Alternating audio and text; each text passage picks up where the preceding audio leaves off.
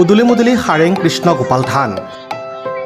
উদুলি মুদুলি সাৰেং কৃষ্ণ গোপাল গৰখীয়া সভাৰ বাকৰি। দৰং আৰু ওদালগুৰি জিলাৰ সীমামূৰীয়া সাৰেং গাঁৱৰ সাৰেং কৃষ্ণ গোপাল থান গৰখীয়া মন্দিৰত গৰখীয়া সভা আজি অনুষ্ঠিত হয়।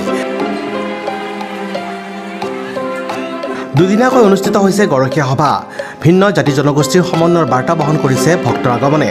শৰাই নৈবদ্য লৈ ভগৱান শ্ৰীকৃষ্ণৰ আশীষ গ্ৰহণ কৰিছে ভক্তসকলে। গৰখীয়া থানত ভক্তই ছাগলী পাৰ আৰু গোদান দিয়াও দেখিবলৈ পোৱা গৈছে। দুপৰীয়া দিহানাম প্ৰতিযোগিতা অনুষ্ঠিত হোৱাৰ লগতে সন্ধিয়া বন্তি প্ৰজ্বলন কৃষ্ণ নৃত্য প্ৰতিযোগিতা অনুষ্ঠিত হোৱাৰ লগতে বিভিন্ন কাৰ্যসূচী ৰূপায়ণ কৰা হয়।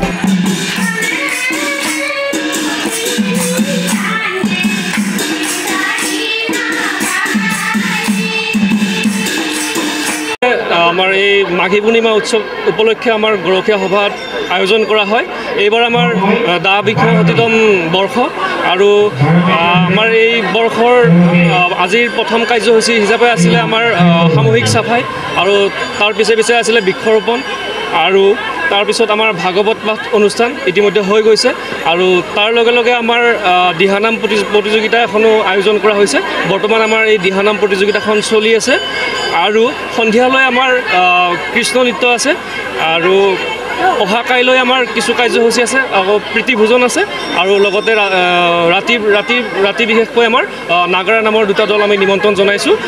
সকলো আমি ভক্তবান ৰাইজক আমাৰ এই গোপাল গৰখীয়া থানৰ এই বাকৰিলৈ অহা কাইলৈৰ বাবে নিমন্ত্ৰণ জনাইছোঁ।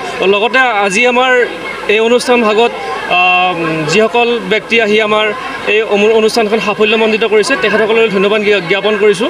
আজি আচলতে এক উৎসৱমুখৰ পৰিৱেশ আমাৰ এই সাৰেঙৰ কৃষ্ণগোপাল থানত।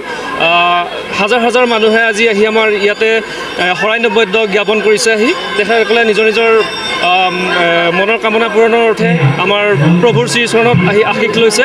আৰু বিশেষকৈ আমাৰ এই মন্দিৰত গৰখীয়া সভা উপলক্ষে গৰু আৰু ছাগলী ইয়াতে দান কৰে। প্ৰতি বছৰে এই প্ৰথাটো চলি আহিছে। আহ, যিসকলে যি মানস কৰে সেই মানসৰ উদ্দেশ্যে তেখেতসকলে প্ৰতি বছৰে গৰু এৰাল দিয়ে আৰু ছাগলী এৰাল দিয়ে। এনেকৈ এই অনুষ্ঠানটো জাকত জিলিকা হৈ ক্ৰমান্বয়ে অনুষ্ঠানটো আগবাঢ়ি গৈছে। মানুহ মোটামুটি প্ৰায় কাইলৈ নিশা আঠ বজাত অসমৰ জনপ্ৰিয় পাঠিকা গুৱাহাটীৰ মঠঘেৰিয়াৰ জিন্তি ডেকা আৰু শালিকাজাৰৰ অনিতা তালুকদাৰৰ নাগাৰা নাম প্ৰদৰ্শনেৰে সামৰণি পৰিব দুদিনীয়াকৈ। অনুষ্ঠিত হোৱা সাৰেং কৃষ্ণ গোপাল থানৰ গৰখীয়া সভা। আমাৰ এই অনুষ্ঠানখন আচলতে গৰখীয়া যেতিয়াৰ পৰা আমাৰ ইয়াতে গৰখীয়া আছিল গৰুচাৰী এই এখন সাৰাং গোপচাৰ গৰুচৰণা পথাৰত। তেতিয়া কেইজনমান গৰখীয়াই এটি এই গৰখীয়া মন্দিৰটোৰ আগতে গৰখীয়াবিলাকে স্থাপিত কৰিছিল এটা লৰু পুতি সেই লৰুডাল পুতি এটা কদমৰ পুলি ৰুইছিল। আৰু সেই আৰম্ভণি কৰা মানুহজন আমাৰ আচলতে আমি জনাত কেইবাজনো আছিল যদিও এই লৰুডাল পোতাৰ ক্ষেত্ৰত কষ্টৰাম দাস তেওঁ আৰম্ভণি কৰিছিল।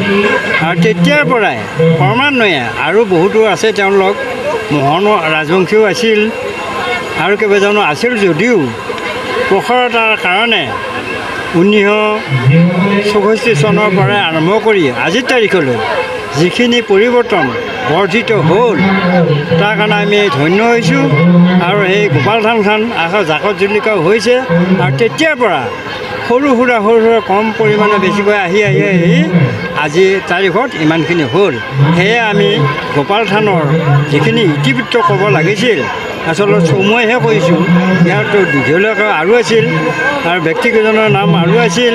সেয়ে আমি আজিৰ তাৰিখত এইখিনিকে আমি বক্তব্য দাঙি ধৰি আমি প্ৰচাৰ প্ৰসাৰৰ ক্ষেত্ৰত আমি সেৱা ধৰিলোঁ।